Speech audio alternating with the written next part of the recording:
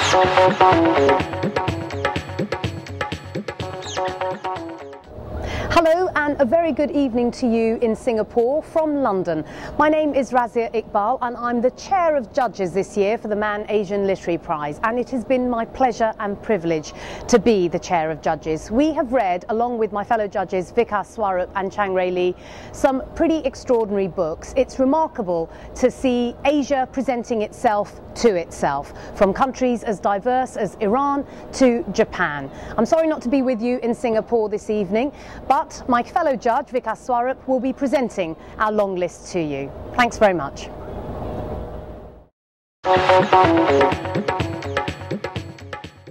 Without any further ado, this is the 2011 Man Asian Literary Prize long list.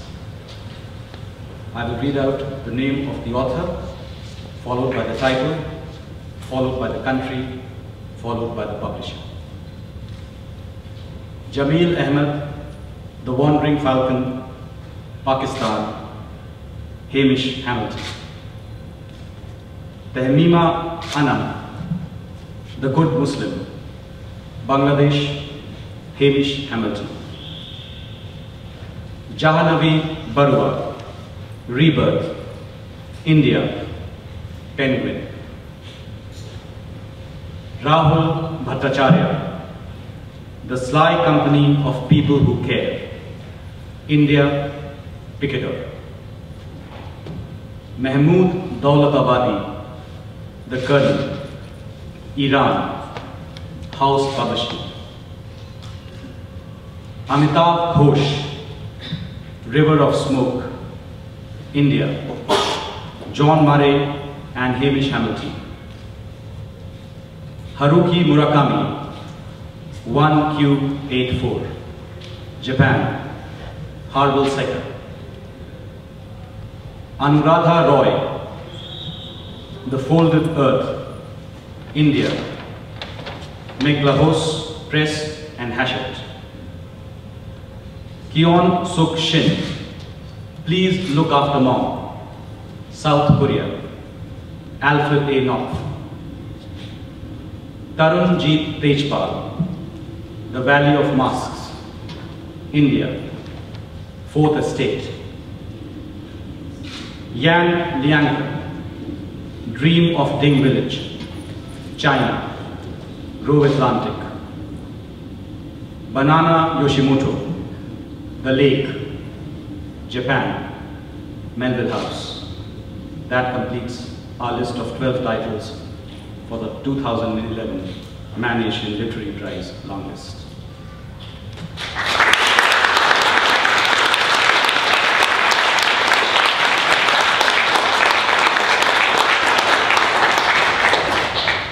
Okay, we now have time for question and answer, initially with uh, any journalists in the room. Um, if you could give your full name and publication before answering your question. There are no questions from journalists. You can also- I'm also a journalist. I think, uh, could you explain the process? Because one of the things which, which authors usually wonder about is if there were 60 titles or 70 titles and there, there were five judges, how did they read all of them? Do all of them read all the titles, which is hard to believe, or are they just distributed? No, I think uh, we were very, very clear about what we wanted to do, and you know, we were pakka judges. We, we followed the protocol, which is you have to read the books that are sent to you, and then of course we have to arrive at consensus. In the case of the Man Uh, uh, Literary Prize, we had three judges. Uh, myself, Razia Iqbal was the chair, and Chang Rae Lee, uh, who's based in US, uh, South Korean writer. And we read the books. Uh, I mean, it's difficult, of course, when you have to judge 90 books. So, you know, some books you come at a conclusion very early on, and some books, uh, you know, uh, you know a bit late whether or not uh, this book is going to make it or not. And then basically we exchanged emails. It was a trans-Atlantic, it was a cross-continent kind of an interaction because Razia was based in UK, I live in Japan, and Chang Rae Lee is based in the United States. And then the idea really of judging is to arrive at a consensus where all the judges agree on the titles which have to be featured in the long list And I'm very happy to say it was a very painless, uh, it was a very collaborative, a very exciting uh, way of, uh, you know, of judging. We were all, I think this 12, this list of 12 that we have presented today is a list in which all three of us agree. Journalist either, but uh, Mr. Uh, how seriously is humor taken for uh, literary prize, for example, uh, Joseph, Serious Men, or Your Six Suspects? It's placed with humor in the background, even though it's not a major theme. So how seriously do you think uh, humor is appreciated by the literary prize jury? I think it all depends on what the humor is in service of. Uh, eventually, since the very title of this prize is the Man Asian Literary Prize, you're looking for literary merit. But literary merit does not mean that you just have words. The words have to be in service of something. Uh, a service of a plot, a service of characters, relationships, whatever. And it all depends how humor is used. So if obviously a book is submitted which is purely a comedy, you know, which is, you know, which does not have literary merit, then I don't think that that book would make it to the Man Asian Literary uh, Prize long list or, or short list. But if uh, a book may be called Serious Men, but may have, uh, you know, humor, which is in service. Uh, a character uh, itself may have, you know, certain takes or whatever, you know, which make him humorous or which create humorous situations. I don't think, I mean, the, the judges would look at it askance or, or consider that, you know, that is not something that we can consider. So I think eventually, you know, a book is a very, you know, it's a package, you know, it's a package with so many elements. And humor could be one of the elements. I mean, pathos could be one of the elements. Uh, you know, tragedy, comedy, everything is part of uh, you know what we face in daily life. And eventually, books are a reflection of life, aren't they? Obviously, you don't have to be a journalist. Any further questions from anyone in the audience? Since all three judges come from different cultures, um, do they do the way they judge it is influenced by the cultures? I don't think so. I mean, obviously, you know, as an Indian, when I'm reading a book about India, I would be able to relate to it more in the sense, I mean, that's not, uh, that's uh, normal and natural. Uh, Chang Lee, who's from South Korea, would be able to relate to a Korean novel better than, than I will, for instance. But that does not mean, in fact, I think the whole purpose of this Man Asian Literary Prize is to expose Asian writing in general. And I think the fact that we were able to read novels, you know, from countries as diverse as Iran and, and Japan, means that, you know, we have been able to see what, what the current crop of Asian writers is doing, what they are creating, what kind of stories are coming out of Asia. Because I think uh, it's a very exciting phase in Asia now. I mean, everybody talks about uh, the 21st century belonging to Asia. And now we are seeing Asia stake its claim also to, you know, 21st century literature belonging to Asia. And I think that was the exciting phase. And I think that was the charm also of reading uh, these books, uh, some of which I would not have read, uh, you know, in my normal life. But as a judge, you know, you have to read these books and you get exposed to what's happening in diverse countries. Further questions from the audience, please? Yeah. Um, I- I'd like to ask about the, um, the elephant in the room, in a way, which is tra- translation. Um, and you, you presented a, um, a broad spectrum of, of works um, from the long list. Um, and some of those works were originally written in English, and some of them are available for consideration for reading translation. And you said you tried to focus on the essential literary merit of each work, but um, in the end, literature is about language. So how do you separate literary merit from language and you know, what the difficulties of that presents? And also, um, you presented these works, but in the case of the translated works, you haven't mentioned um, the translator's name, so what do you think that acknowledgement should be given to the translators? I think it's a valid point that you're making. Uh, after all, I mean, Asia is a very diverse continent and there are diverse countries and, you know, each country has its own language, its own traditions and writers write in their own national languages. And the literature that comes to us in English is actually mediated by the translator. But I think the quality of a good translation is that the work should not feel translated. That we should feel as if, you know, we are getting that reality firsthand from the writer without the translator intervening. I think that's the hallmark of a great translator, that the work should not feel translated. And I can vouch for the 12 titles on our long list that, I mean, the translators, because Haruki Murakami we read in translation, uh, we read uh, um, the writer from Iran in translation, uh, we read uh, the writer from South Korea in translation, we read Banana Yoshimoto in translation.